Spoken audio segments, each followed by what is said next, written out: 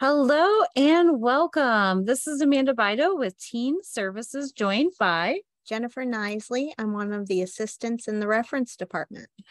And you are watching one of our teen reference sessions. This session is called Warren Uncharted. This is all about the expedition of Warren, maps of Warren, kind of the layout of Warren, and some of the first. So we're really excited to bring this to you and we're going to jump right in with Jen starting off talking about the expeditions.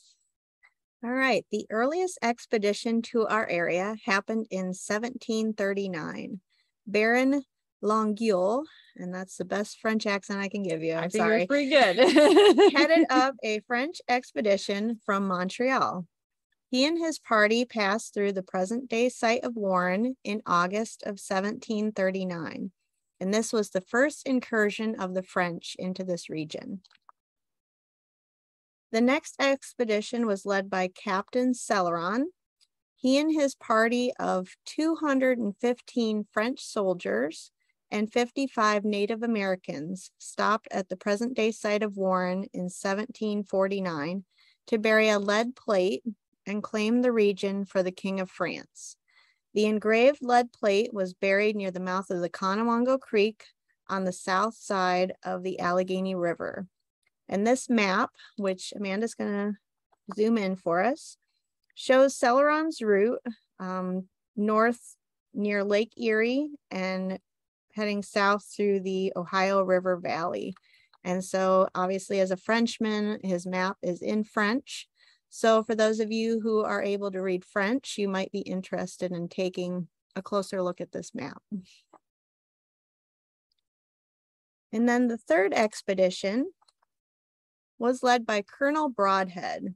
He and his American military force passed through the present day site of Warren in 1779. And finally, in 1795, the town of Warren was laid out by the commissioners of the Commonwealth, General William Irvine, and Andrew Ellicott, an American land surveyor. And Amanda's going to talk a little bit more about this map that you see here. All right. So here is this map of the first survey. This kind of lays out how the city of Warren is going to look right along the Allegheny River. So the first warrants bought in were in 1794, purchased by the Holland Land Company, who acquired 100,000 tracts of land, and a General George Meade, who acquired 1,000 tracts of land. Now, for many years after the survey was done in 1795, there was a lot of controversy over the survey and whose land was actually whose. In 1814, it was resurveyed by Colonel Samuel Dale, and those are the surveys that uh, continued on throughout the rest of Warren's history.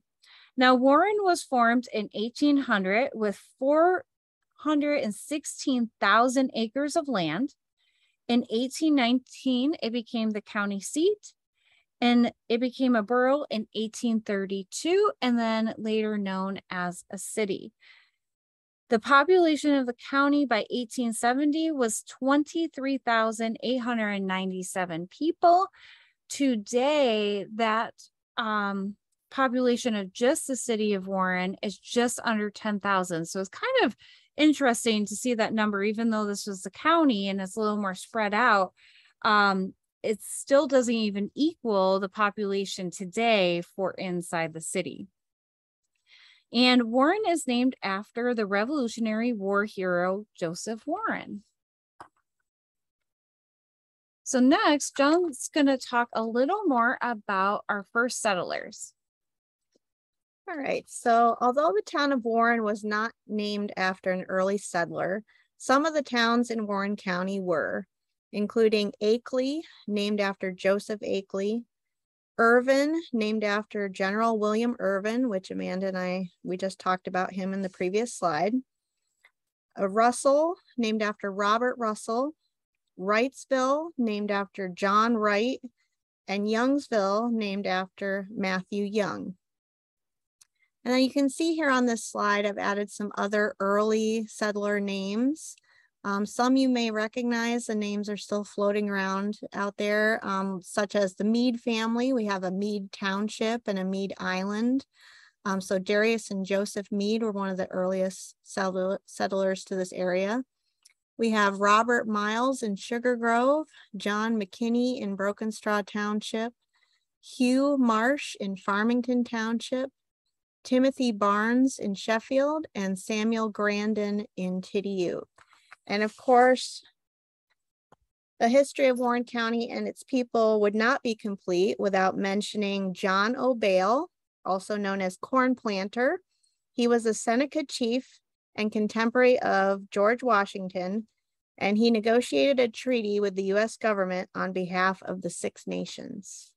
And if anyone can name that treaty, drop that in the comments and all the correct answers are going to drawing for a little prize from us.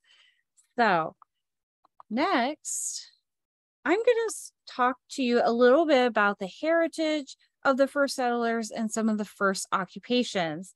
So of course, the French is who found this area. So you will find some French um, first settlers and Jen mentioned a couple of those but you also will find Scottish and Irish first settlers, many that came from the other side of the state in the southeastern side of Pennsylvania, as well as different parts of New England.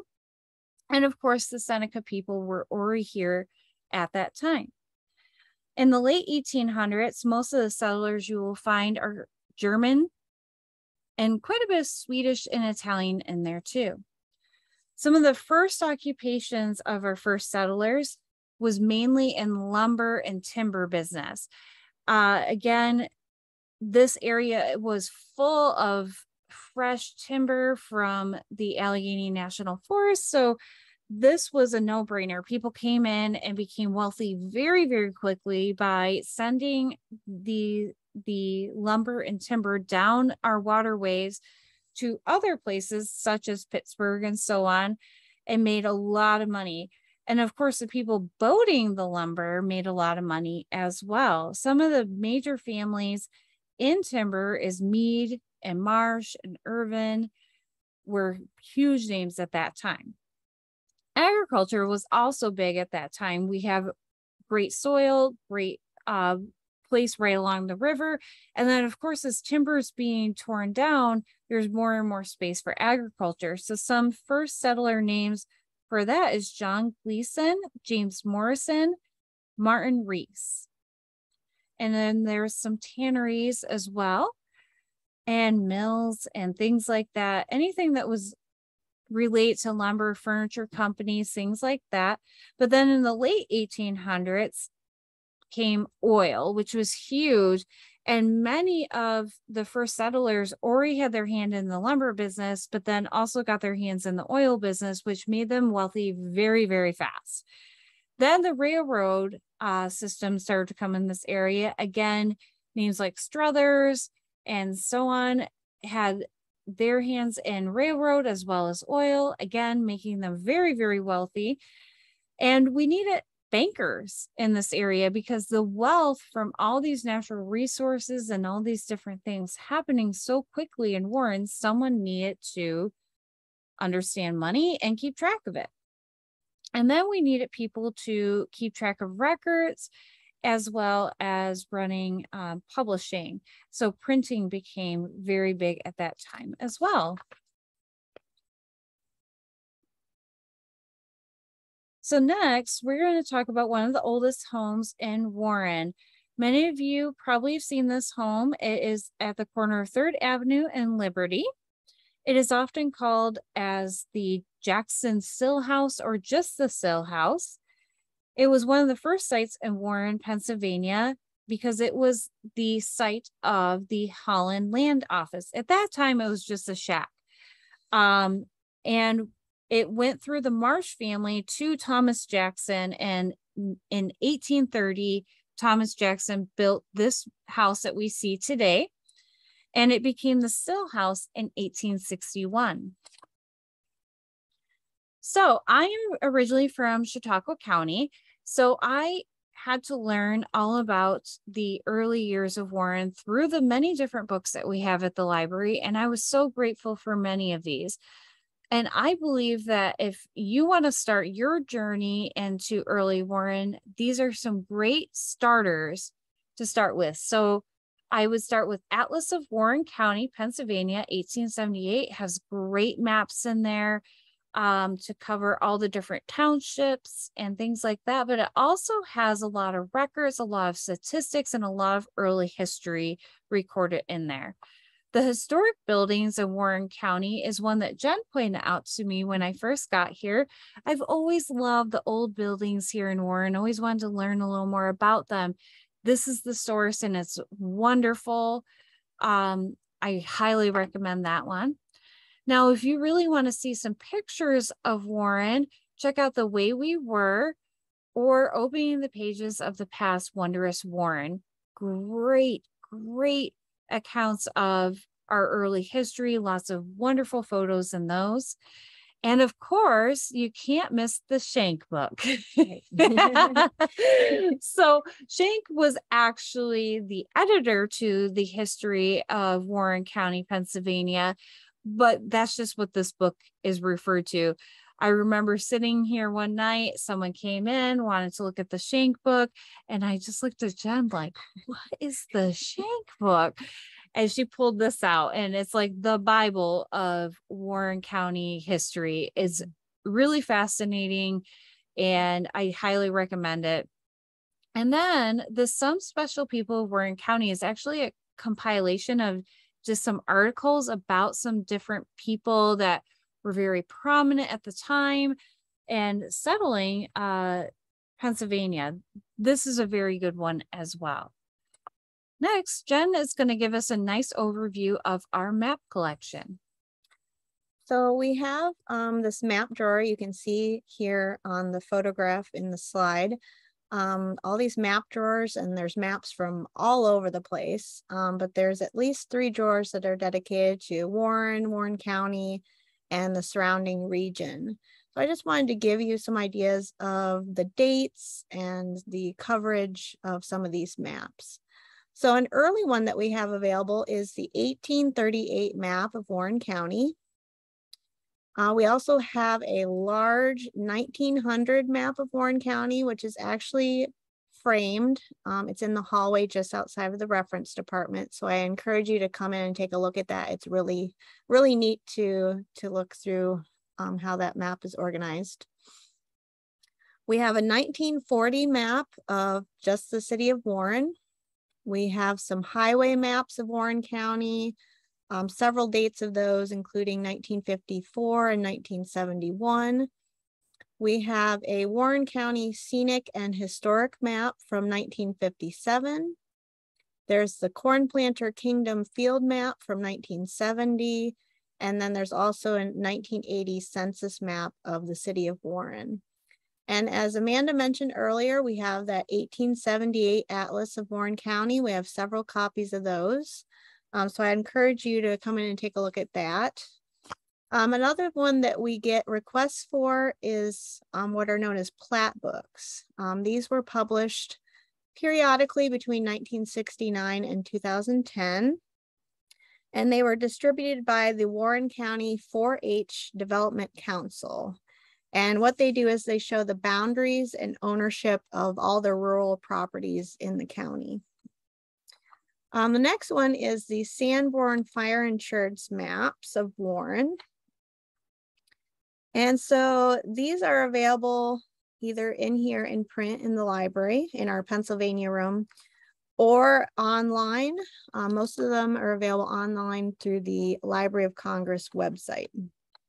So what these maps show is not just street names and property boundaries, um, but also building blueprints, um, the materials that were used to build these buildings, um, the height or number of stories of each building, what the buildings were used for at the time, the lot lines, the road widths, the water facilities, the different utilities.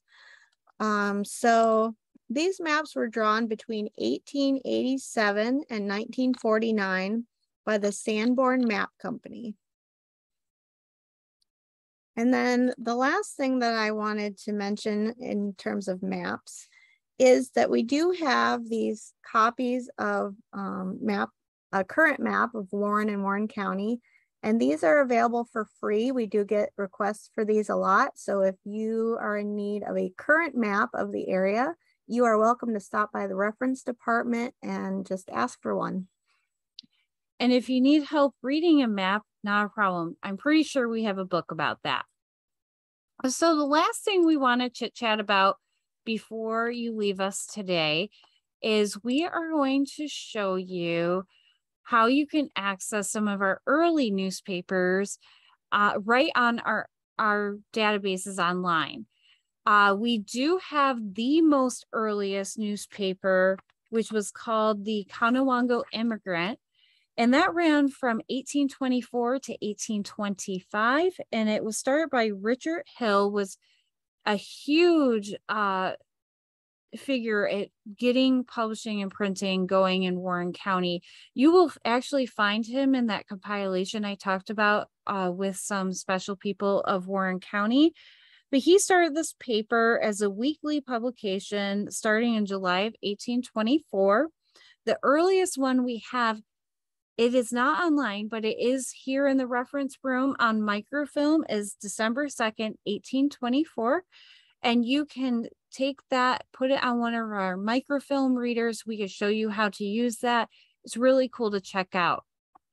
But for the ones that we have online, you're going to go to warrenlibrary.org, go to online resources.